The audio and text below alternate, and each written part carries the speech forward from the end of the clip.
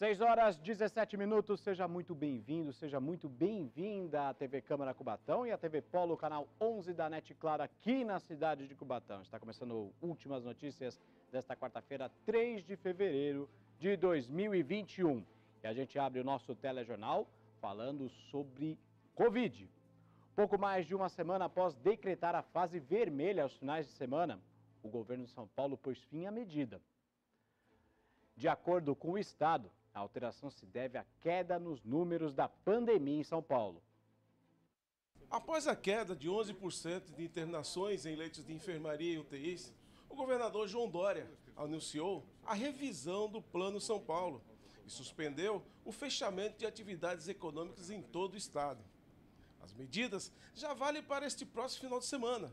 Cubatão passa agora a atender as medidas da fase laranja. Tivemos, felizmente, queda no número de internações em todo o estado de São Paulo, tanto em leitos primários quanto em leitos de unidade de terapia intensiva, de UTI, o que nos permite suspender a decisão de fechamento de atividades econômicas já neste final de semana em todo o estado de São Paulo.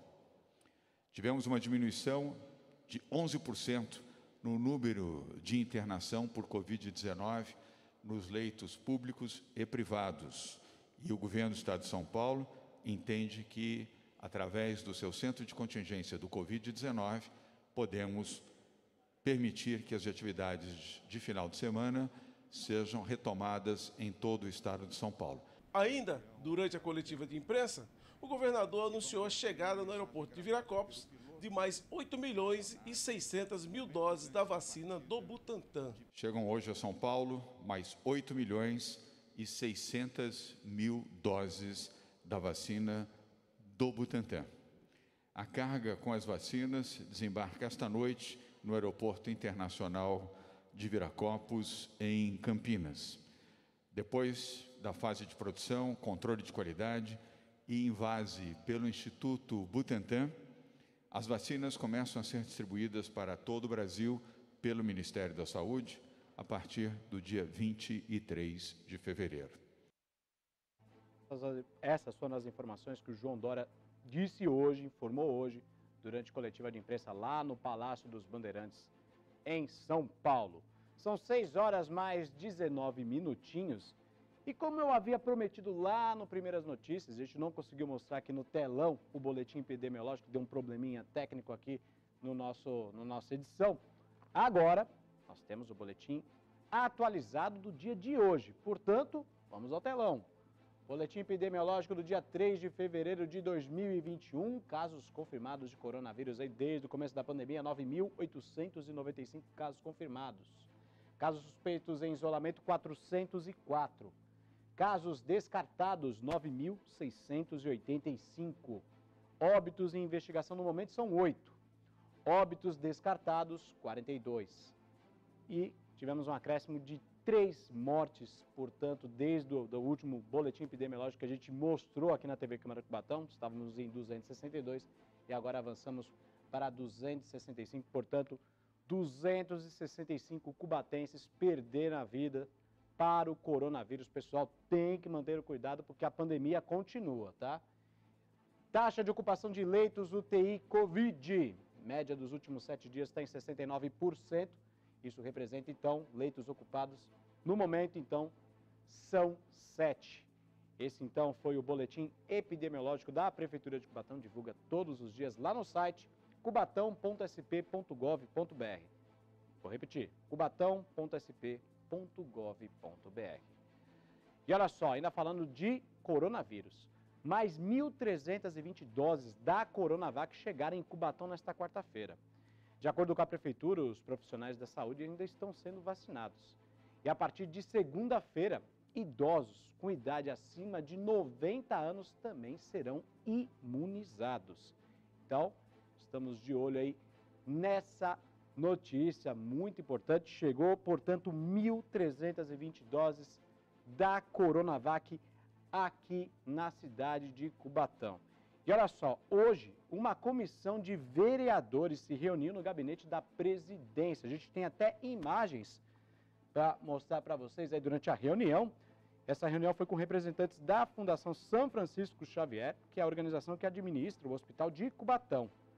O objetivo dessa reunião, desse encontro, foi discutir futuras emendas para o local. Portanto, aí você está vendo as imagens, os vereadores reunidos lá no gabinete do presidente Ricardo Queixão, junto com os representantes da Fundação São Francisco Xavier, que é o órgão que administra o Hospital de Cubatão, hospital fundamental para a saúde da população cubatense, tá bom, pessoal? Vamos agora com a previsão do tempo.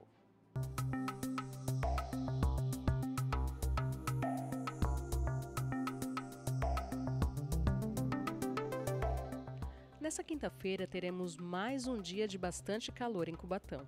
A previsão é de céu com poucas nuvens durante toda a manhã. Os termômetros registram mínima de 25 graus e máxima de 36 graus. A umidade do ar varia entre 44% na mínima e 84% na máxima. Os ventos serão fracos durante todo o dia.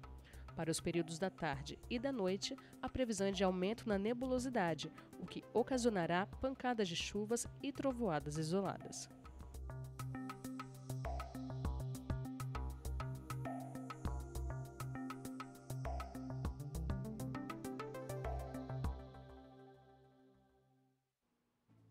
Essa foi a previsão do tempo para você, quinta-feira, com muito calor, em 36 graus. 6 horas mais 24 minutos.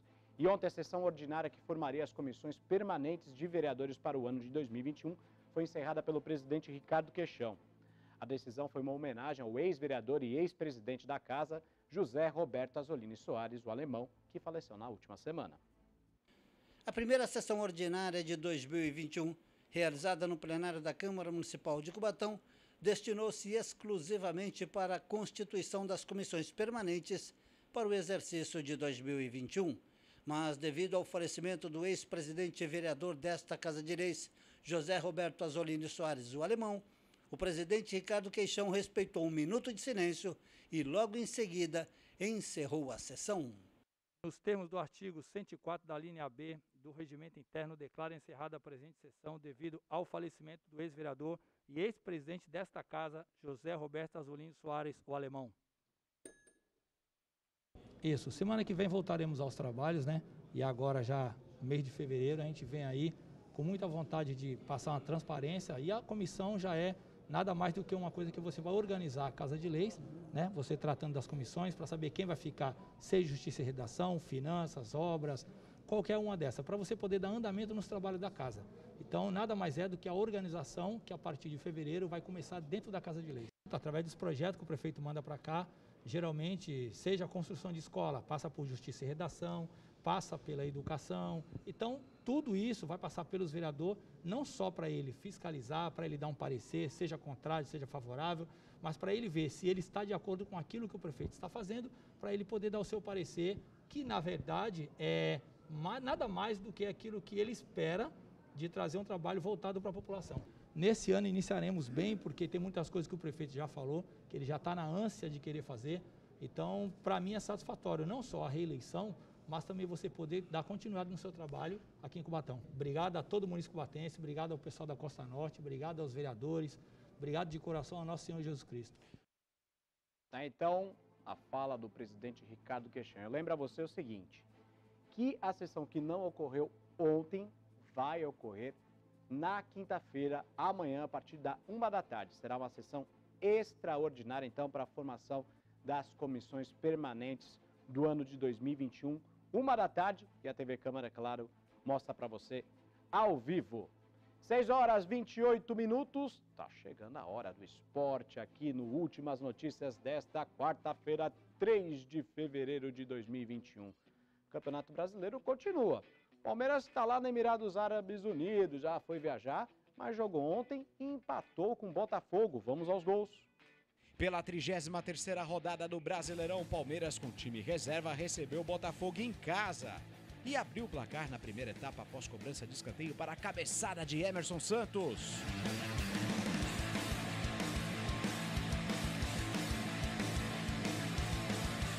No segundo tempo, o Botafogo empatou com Rafael Navarro. Esse bonito chute de fora da área. 1 a 1 placar final. O Verdão é o sexto colocado da competição com 53 pontos. E a vitória do Alviverde. Vitória não, empate do Alviverde. O Palmeiras venceu sim a Libertadores lá no sábado, o Santos do meu coração. Empatou com o Botafogo. O Palmeiras então tem 53 pontos e ocupa a sexta posição. E hoje à tarde, o Santos enfrentou o Grêmio lá em Porto Alegre e empatou em 3 a 3 mesmo com o time reserva. Olha que resultado interessante para o Santos.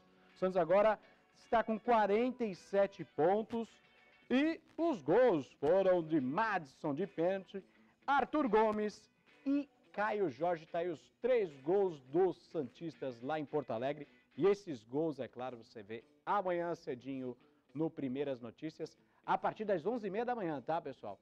Novo horário do Primeiras Notícias, 11h30 da manhã. E últimas notícias, às 6h15 da tarde. E com essas informações, eu vou encerrando últimas notícias desta quarta-feira, dia 3 de fevereiro de 2021. Mais informações ao longo da nossa programação. Se você quiser rever alguma matéria que você viu hoje aqui no Últimas Notícias, vá no nosso Facebook, facebook.com.br TV Câmara Cubatão, ou no YouTube também da TV Câmara Cubatão, canal do TV Câmara Cubatão. Procure a gente lá no YouTube. É isso, pessoal. Uma boa noite e a gente se vê amanhã. Tchau, tchau.